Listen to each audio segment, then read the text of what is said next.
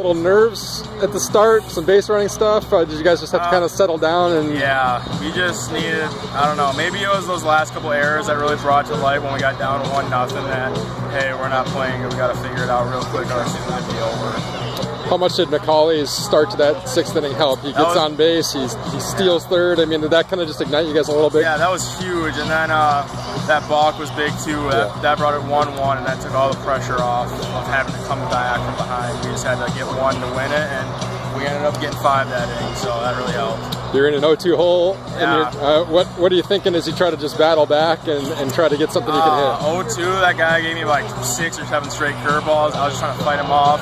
Single one to left field. I thankfully did that. I was gonna be happy with that AB.